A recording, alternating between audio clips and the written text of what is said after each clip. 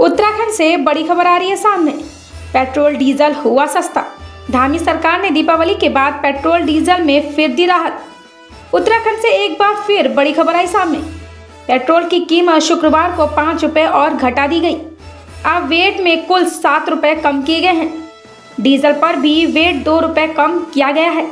बीते तीन नवंबर को भी पेट्रोल पर पाँच और डीजल पर दस रुपये घटा दिए गए थे। राज्य सरकार ने इन दरों को घटाने के लिए और रियायत दी तीन नवंबर को प्रदेश सरकार ने पेट्रोल पर दो रुपये कम किए थे।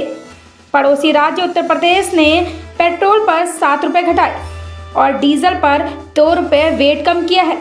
उत्तर प्रदेश में पेट्रोल की कीमत पिचानवे पॉइंट अट्ठाईस रुपये थी, जबकि उत्तराखंड में निन्यानवे पॉइंट उनतालीस रुपये प्रति लीटर कीमत हो गई थी।